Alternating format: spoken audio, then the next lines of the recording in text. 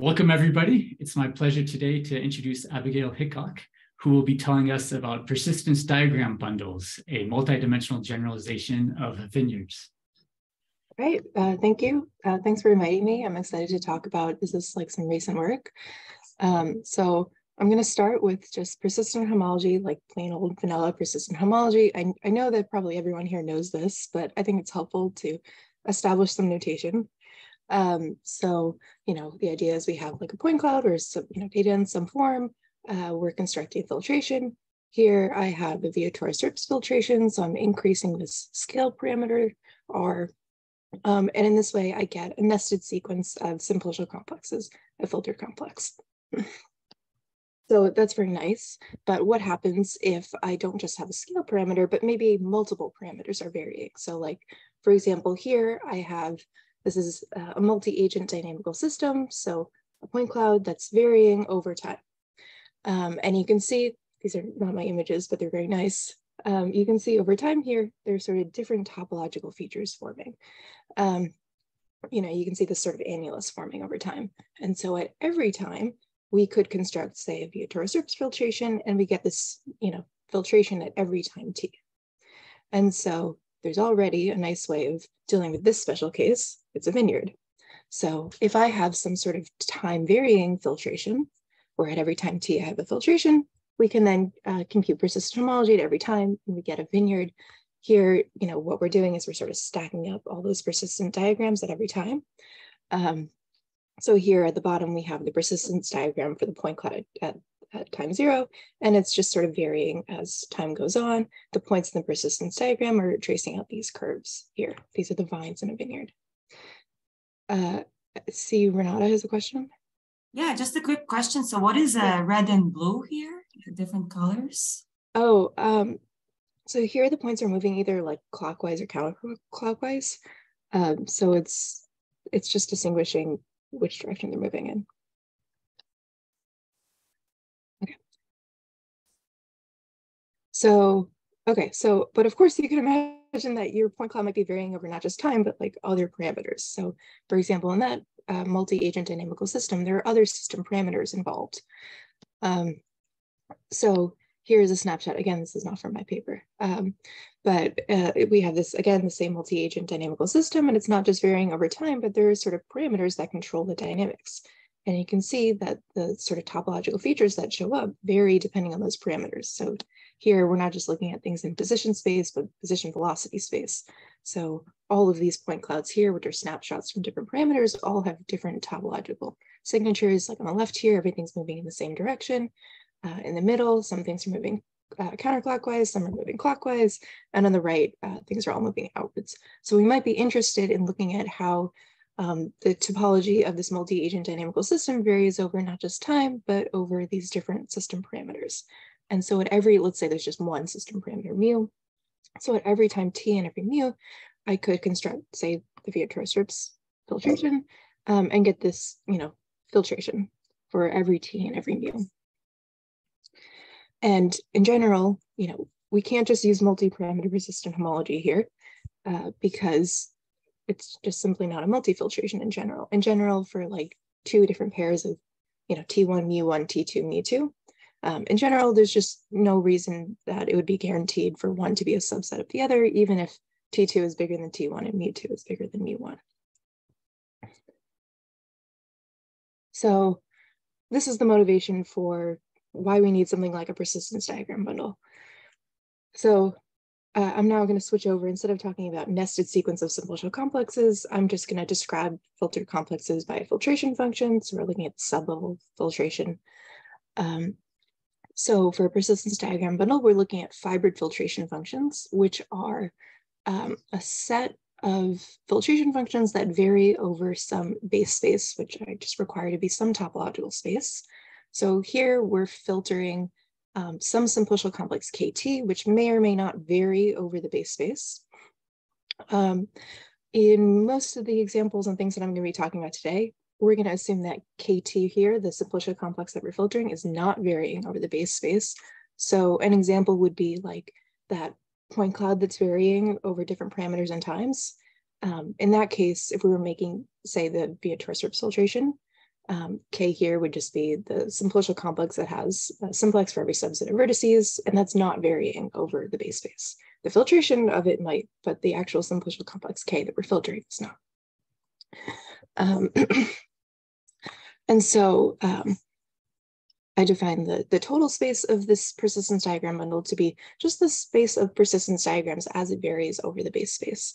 Um, and here we can give this the subspace topology because it's um, a, a, subset of uh, the product of the base space with uh, the extended plane because every persistence diagram bundle is just a subset of that.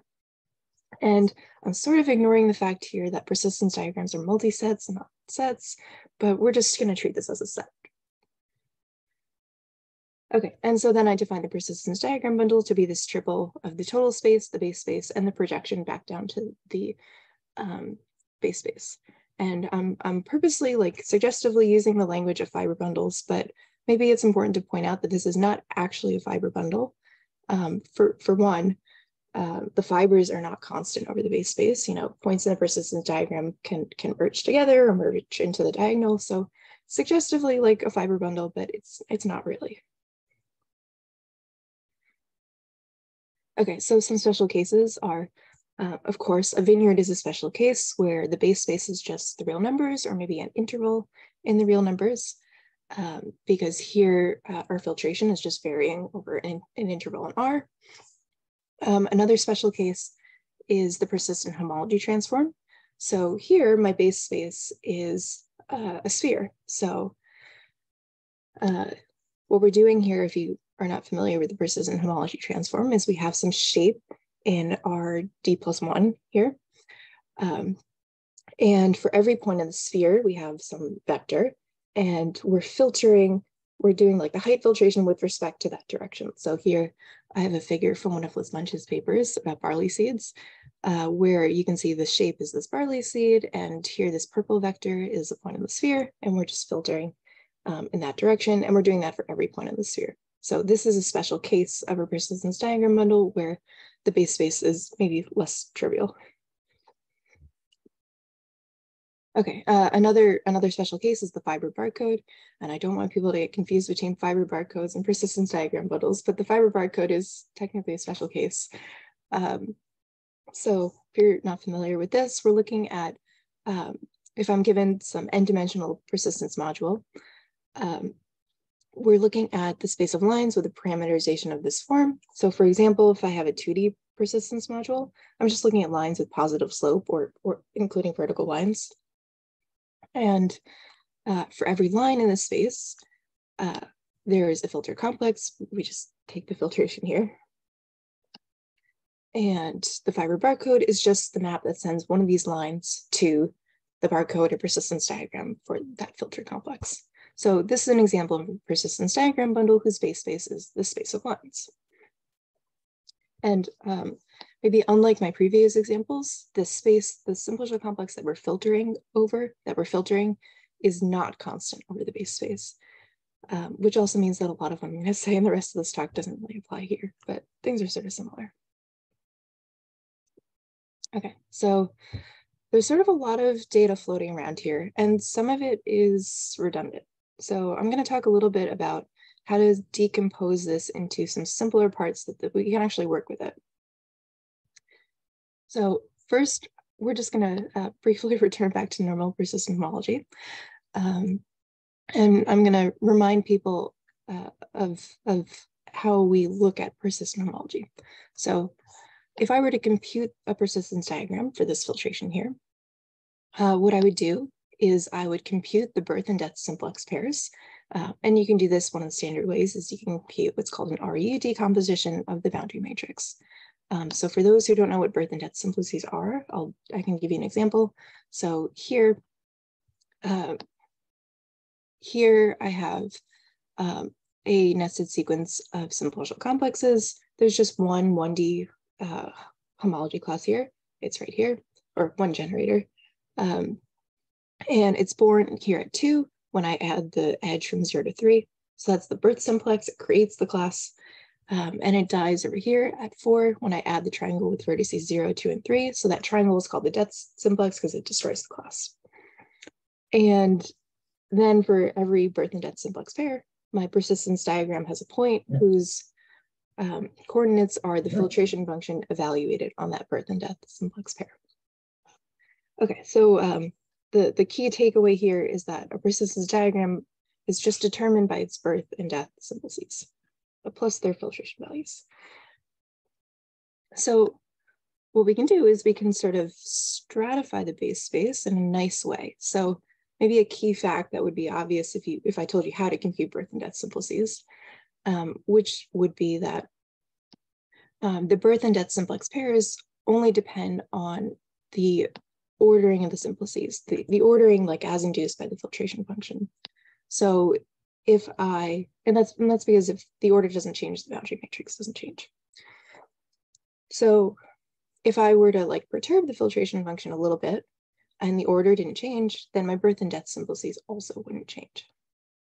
So what we can do is in the generic case, you know, some caveats, uh, we can we can stratify we can stratify the base space so that within each of those like top dimensional stratum, the simplex ordering is constant, which also means that the birth and death simplex pairs are constant. So I'll give you um, a really simple example. So let's imagine that my base space is just the plane or maybe a subset of the plane, um, like R2. Um, and let's say that the filtration values of my simplices are linear. So that means that for any given simplex, um, its filtration functions as they vary over the base space, that's just linear. So if I look at the filtration functions for any two simplices, I get like the intersection of two planes.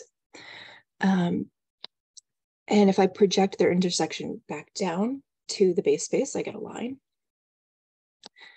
Or, or, or maybe, you know, an empty six intersection. Um, and so if I do this for all pairs, I get something that looks like this. So here I have some line arrangement.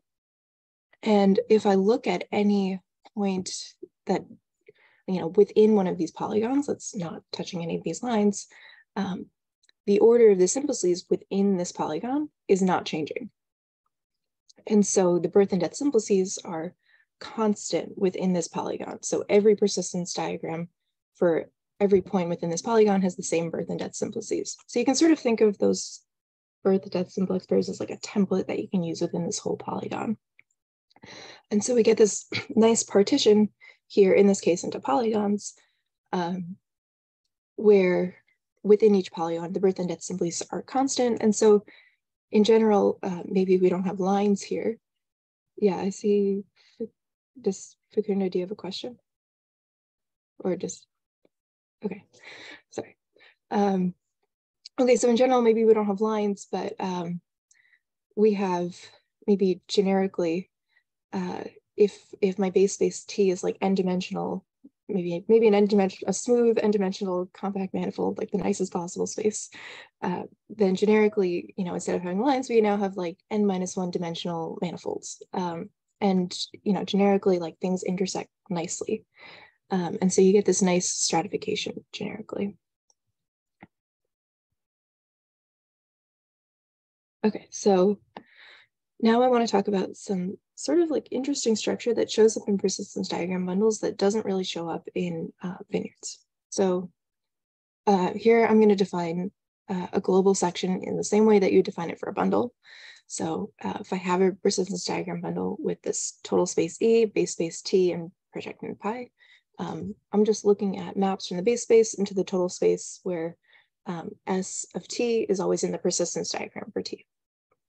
So if I have a vineyard, um, this is sort of this is sort of trivial because uh, you know if I take any point uh, in the total space here, like where my mass is, you know, I can always extend this, you know, any a, a, global a section or a global section is just a parameterization of one of these vines. Um, and even if two of those vines intersect, you can still like maybe in a non-unique way, um, take one of these points and extend it to a global section. So things are sort of trivial in this case. But in a persistence diagram bundle, that's not really the case. Global sections may not even exist at all. So I'll show you, um, I'll show you an example. And I have a question here. So you sort of have um, the diagonal appearing with infinite multiplicity. Yeah. Is that right? Okay. Yeah. Yeah, I am including the diagonal. yeah, so it's it's okay if you know it mer it might merge back into the diagonal. That's okay. Thanks. Okay, so I'll show you an example. So here's my simplicial complex K. This is what we're going to be filtering over the whole base space. Um, and the simplices labeled A, B, C, and D, those are the ones that we actually care about. So let's say I have a fiber filtration function where my base space is just R2. Um, and I'm just going to assume that my filtration, the filtration values for all the all the simplices that aren't A, B, C, and D, those filtration values are all less than A, B, C, and D. Um, C, C, and D are always bigger than A and B. And what we're doing here is um, the filtration value for A is bigger than B on the top half of the plane. It's less than in the bottom half of the plane. Um, C is bigger than D on the right half of the plane here. And then the filtration value for C is less than D on the left half of the plane here. Okay, and you can see here we have this like nice stratification where um, the simplex ordering is constant in each one of these quadrants. So that means that the birth and death simplices are constant in each of these quadrants. So I've written here the birth and death simplices for the one-dimensional homology. Um, so here, this means that in the first quadrant, A is always creating a, a homology class that C kills, B is creating a homology class that D kills in this whole quadrant. And so if we look at the persistence diagram bundle, so here on the right, I'm just plotting like some of the fibers so I'm plotting persistence diagrams for um, a sample of points from the circle. So one and nine come from the same point. Uh, I just couldn't put them in the same place. Uh, they're both coming from, from right here. And I'm also showing you that at the center here, we have this sort of like singularity uh, where we have a point here with multiplicity one. And I'm here, I'm just showing you the one dimensional uh, persistent homology. So the thing to notice here is that if I give you a point, let's say I give you this blue point in the total space. Um, okay, so the, the coordinates of this point are f of b and f of d because uh, one of the birth that simplex pairs was bd. And if I give you this point and I want to take a path through the total space that you know goes around this circle here, there's actually only a unique way to do this continuously. So, and, I, and I've, and I've drawn it with the blue dots. So if I start here at this blue dot, I, I'm going around the circle, I go over here to this blue dot, I go around, and eventually when I get back to the, to the place I started on in the circle, I end up at this dot over here, which is not where we started. And similarly, if I start at this red dot and I like take, there's a unique continuous path going around the circle through the total space. Um, and it's it's plotted out here by these red dots. We go around and we end up back here at this point, which is not where we started. So you see things are sort of swapping as we go around. Um, and so this implies that um, there, there is no global section in this bundle at all, because if there was, uh, there would be some there would be some way to go around the circle and and and ending where we started. But here there's not, so there can't be any global section here uh, no global section at all. And it's sort of, you know, the intuition is that it's sort of because there's this singularity. Um, because you know, if I, this is not going to be rigorous, but you know, if I if I removed this origin here where there's a singularity, and I just looked at this persistence diagram bundle over the punctured plane, this would literally be a fiber bundle, um, where my, my, fibers are these two points plus the diagonal. Um, And oh, I guess when I'm talking about global sections not existing, I'm talking about sort of non-trivial ones. Like I guess we could we could have the diagonal. Um, uh, but you know, I'm just looking at these two points, right? This this is a fiber bundle where the fibers fibers are maybe just these two points. Um, and it's you know sort of well known that if you have a fiber, if if this were a fiber bundle over a contractible space, then it would be trivial, right? And so we would be able to like take a global section. Um, but because it's not contractible, because we're missing this point here, um, we're not necessarily able to do that. And so this is sort of why this behavior doesn't happen in vineyards where we're just looking over R. Because even when I remove, you know, like singularities in R, I'm still left with, you know, a set of contractible intervals. So this behavior doesn't really happen in vineyards, but it can happen in persistence diagram bundles. And again, that wasn't really rigorous, but um, you know, this can happen even if, for example, my base space were one dimensional, because if I just restricted this fiber filtration function to like the circle here, of course, we would have the same problem. So you have this sort of interesting structure and behavior that doesn't um, really typically happen in vineyards. And sort of another way of looking at this in sort of a discrete way, or sort of a more combinatorial way, is that, you know, here again, I've, I've just listed the birth and death simplex pairs for each quadrant. So um, another way of saying the fact that like I can't find a global section here or a, a non-trivial global section um, is that there's no way of like consistently choosing uh, one of these pairs in each quadrant in a way where they're like they're locally matched up in a nice way. So for example, here I've connected in red lines uh, some of these pairs because the pair AC uh, becomes the point represented by AC in the second quadrant, becomes the point represented by BC in the third quadrant. So that's like, if we start here, we go over here, here, here.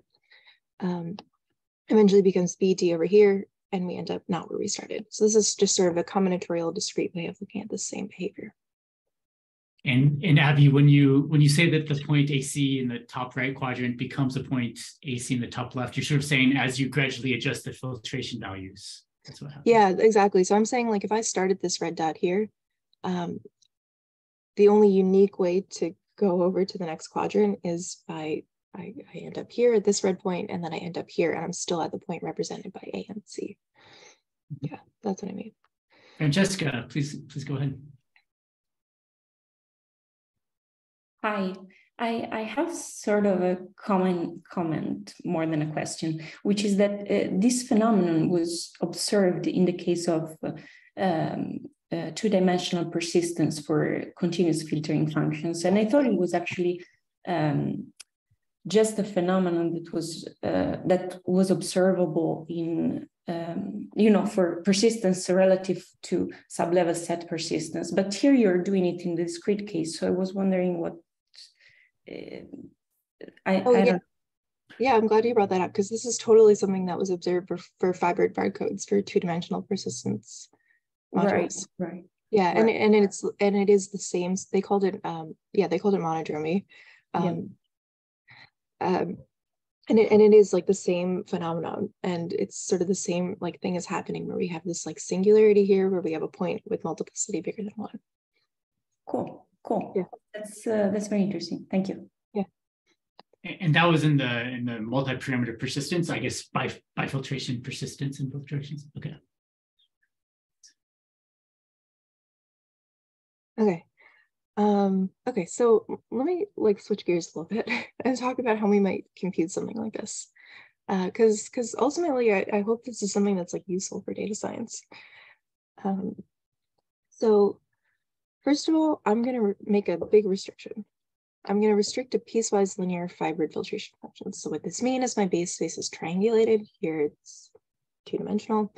Um, I'm given some filtration function on every vertex. And then for every simplex in the simplicial complex that we're filtering, I just extend things by linear interpolation. Um, and this is a big restriction, but I'm going to claim it's like somewhat reasonable. Um, because if you imagine that, you know, we have some data set, usually um, our data sets are obtained either through like numerical simulation or real world data collection. And in most of those cases, um, you're not going to have some filtration varying continuously over the space. You're going to have like a discrete set of parameters where you have a filtration, um, you know, like for example, if you have a, you're like in a point cloud that's varying over space, you might only have the coordinates of the point cloud at a discrete you know, set of points in the parameter space. For example, like discrete time steps. So it's sort of natural to only be given maybe vertices or filtrations of the vertices and then extend those linearly. Um, and the way I, the, the reason I'm requiring things to be linear is because um, There just there's a lot of nice computational geometry work for dealing with things like line arrangements.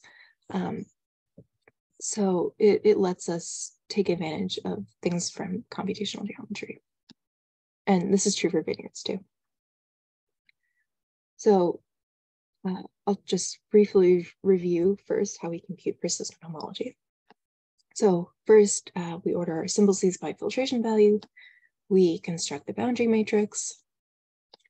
And then we compute what's called an RU decomposition. So this is just we decompose the boundary matrix into a product of matrices R and U, where U is upper triangular and R is this reduced matrix, which means that for any two non-zero columns, um, the lowest one in column J is not the same as the lowest one in column J prime. And here I'm computing homology over the field sigma 2. Um, okay, and then we can just read off the birth and death simplex pairs. So if I is the, low, is the index of the lowest one in column J, uh, then sigma i and sigma j form a birth death simplex pair. And it was you know, basically, oh, right. And then of course the persistence diagram has a point whose coordinates are the filtration function evaluated on those pair, that pair. So what was observed when people introduced vineyards was that, and this is not quite how they present their algorithm, but let's imagine I have some um, filtration function, uh, some time varying filtration function. Here I've plotted uh, the filtration values of five simplices so it's a very small simplicial complex. And so if I wanted to compute this vineyard, what I could do is I could compute like the initial boundary matrix and then uh, some initial RU decomposition at the beginning. And then mm. I could compute the transposition times. Those, that is, let's look at the times where the order of two simplices swaps. So that would be a point like right here, this intersection or this or this here. And the idea is that in between all those transposition times, the simplex ordering is the same, so the birth and death simplices aren't changing. And so now, every time I get to a transposition point, there's like a really nice, efficient way of updating the RU decomposition and the birth and death simplices so that when I get to the next interval, I don't have to recompute persistent homology from scratch. I can just reuse my work from before um, to get the new birth and death simplices in the new, in the next interval Okay, so we're going to do something uh, like very similar for persistence diagram bundles. So, so remember that stratification I showed you before. So here, because I've made this like piecewise linear assumption, here my stratification is just this partition into polygons here. So here my base space is these four squares, they're triangulated. I don't know if you can see the triangles, but there are eight triangles here. Um, and it's partitioned into polygons or in higher dimensions, polyhedrons where within each of these polygons, the simplex ordering is constant, which also means that the birth and death simplex pairs within each polygon, um, those are constant as well. So what we would then do is compute the birth and death simplex pairs in each polyhedron. So we get this sort of template for each polyhedron. And then we can query the persistence diagram bundle. So that is uh, you give me a point somewhere in the base space and I tell you what the persistence diagram at that point is.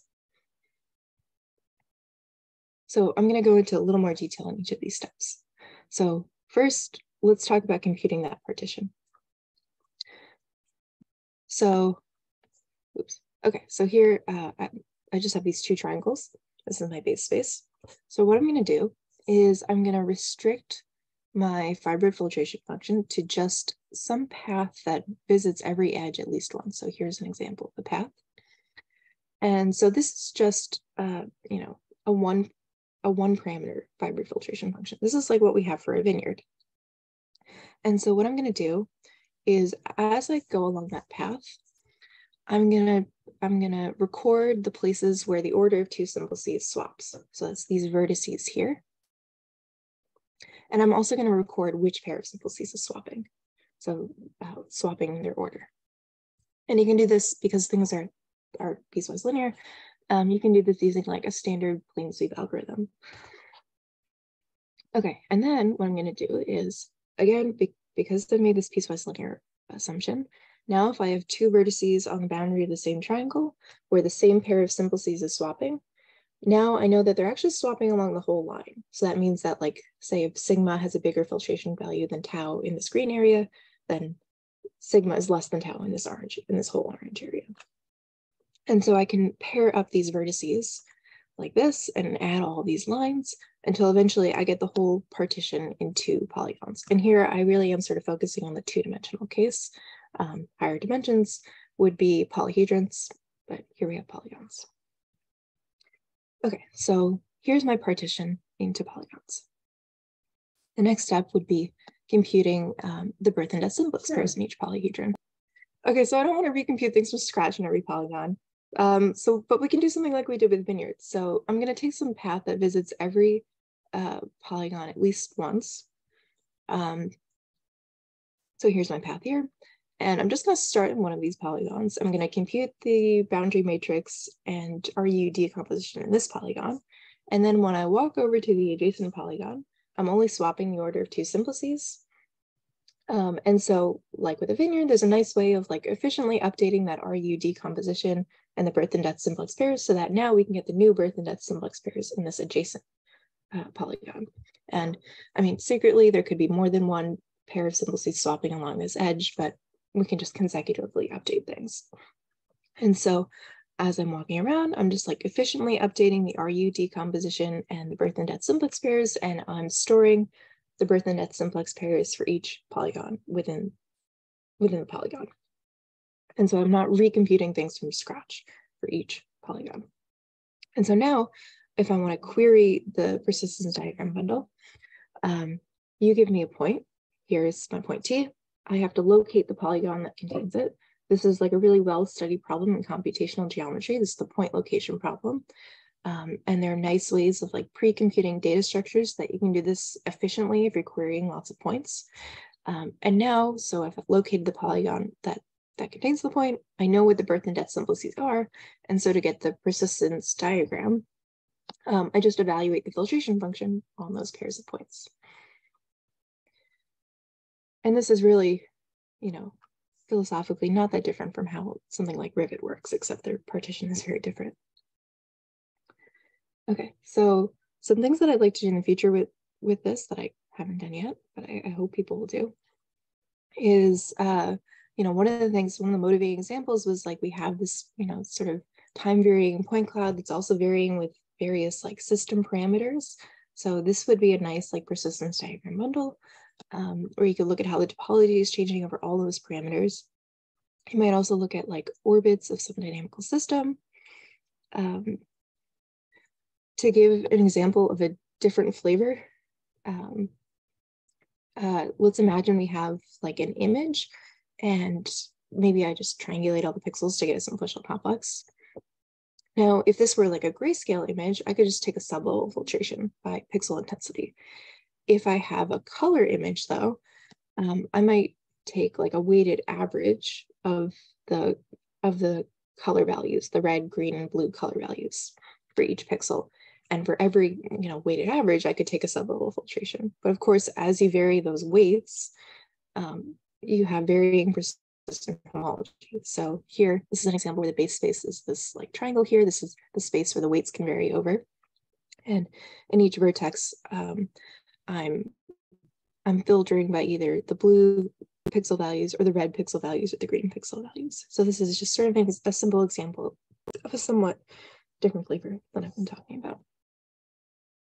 So maybe to sum up here, um, persistent diagram bundles are something that we can use and we have some sort of set of filtrations parameterized by some topological space, like some arbitrary space. Um, and so this, this is you know, better than before when we can only vary things over an interval in R. Um, uh, we also showed that at least non-trivial global sections may not exist. Um, and this is something that like doesn't really happen in.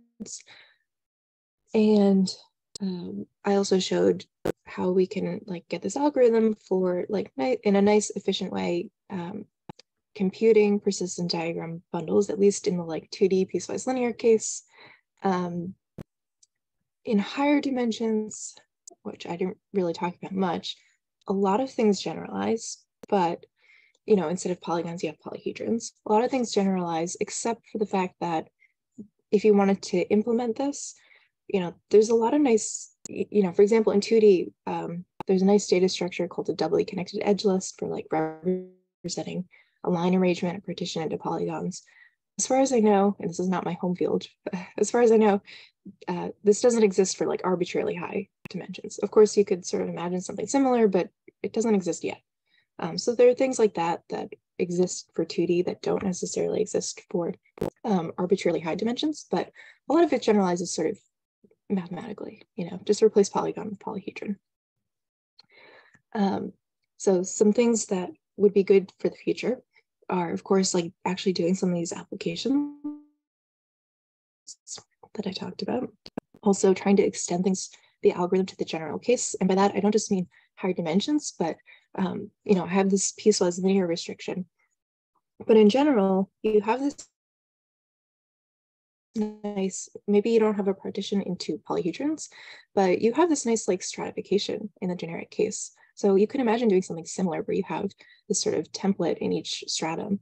Um, and I think maybe most important is that what I showed you today was a way of like sort of visualizing the persistence diagram but in a very exploratory way.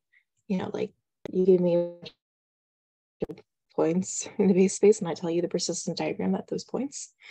Um, but I think coming up with nice ways of, of nice invariants uh, for summarizing PD bundles will be important. And lastly, um, I'll just mention that there is not public code available yet, uh, but I am working on it. And so I hope that'll be available sometime in the near future. And okay, so I'll just say thank you for listening. Um, and also there are there are two preprints on this. The first is basically the first half of this talk, and the second is um, how, how you compute these. So basically the second half of this talk. So yeah, thank you for listening. All right, so before we get to uh, more questions, let's briefly unmute ourselves and applaud for the speaker.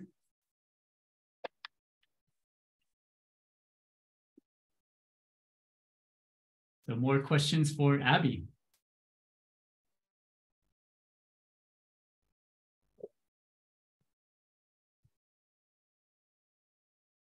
I'll start off. So um, that's cool that you're uh, working on implementing this algorithm or, or you know, repeat releasing it publicly. Um, have you looked into sort of the computational complexity of the algorithm? Are there things you could say there, like worst case running times, things like that?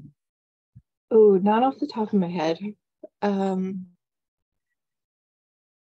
so I think things are like fairly nice. You know, there are nice, efficient ways of like for example, there's like a Bentley Ottmann algorithm for doing that thing where you traverse the path and find those vertices. Um, you know, it's it's pretty efficient to like update. I'm using a doubly connected edge list for like representing that partition, and you can like add lines. That's nice, and you can parallelize over the triangles. Um, I think maybe um, maybe the mo the limiting factor is maybe memory. Um because you do have to store the birth and death simplices in every polygon. And for something that's sort of large you could have a lot of polygons. Mm -hmm.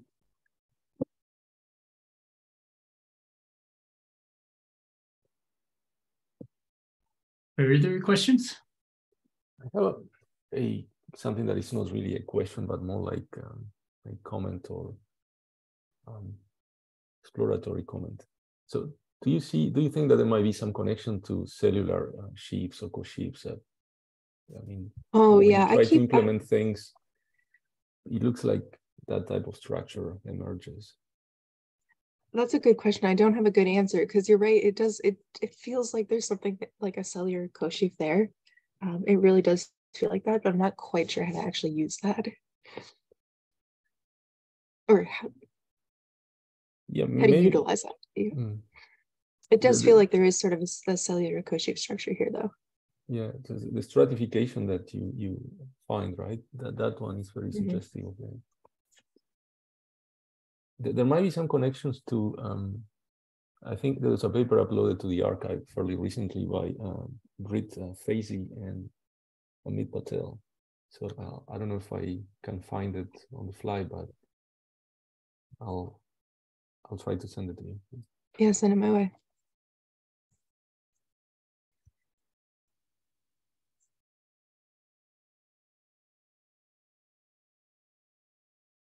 Abby, I was, I was wondering if you could talk more about this. Um, you sort of use a simplifying assumption for much of your talk that the spaces have the same underlying simplicial complex.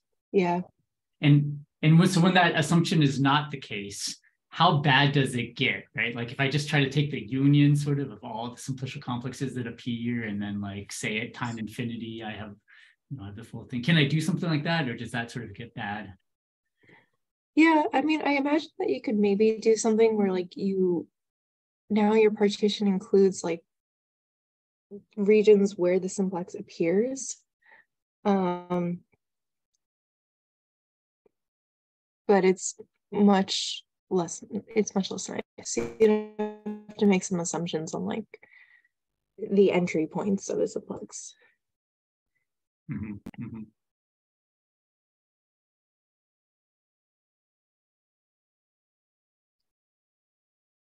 Uh, there's a question in the chatting. Oh yeah. Um, I can uh, read it aloud unless, uh, if you'd like to read it yourself, please go ahead and unmute yourself. Um. Okay, yeah, thank you. So my question is on the stability of this generalization of vineyards. You know, if, uh, because one problem with the like classical vineyard algorithm is like um, is not very stable with the it, as the point clouds change. Um, there seem to be jumps in the homology class representatives, you know, in the resulting vineyards. So I just want to know if this, uh, you know, the algorithm you've presented like overcomes that problem. Thank you. Okay, uh, so that's a good question. So um, it's sort of well known that vineyards aren't stable. And what I mean by that is something specific. So if you look at a vineyard just as like the point, the just the persistence diagrams, that part, that that space is stable um, because persistent homology is stable. What's not stable is the like representation by a birth death simplex pair. Um, that's that's the part that's not stable. So as in like if I have two two vines that like come into contact and, and go away, um, things might like swap at that point, and then if you perturb a little bit, they don't swap. Um, so in this case, things are stable in the sense that vineyards are stable, which is that if you're just looking at the space of persistence diagrams, that part is stable because persistent homology is stable. But it's actually in some ways the, the stability problem that vineyards have is almost even worse in higher dimensions because now you don't even have, you know, be, because you don't have those like, because you don't necessarily have those like global sections and persistence diagram bundles, you don't even have necessarily like individual vines in this persistent diagram bundle. Um, so you don't necessarily even have like a represent, you know, a birth death representative for each. Um, you, you just don't have these higher dimensional vines. Um, so in, in some ways, the stability problem is, is worse in, in higher dimensions or in general. Okay, thank you. Thank you for that explanation. Yeah, that's that's actually the question that led to to looking at whether sections exist in persistence diagram bundles.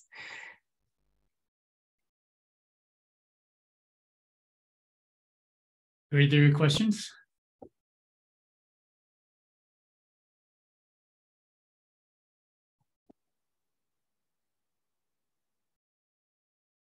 All right. Well, if not, let's end the recorded portion here, though people can free to feel free to ask uh, private questions afterwards. So thanks so much, Abby. All right. Thanks.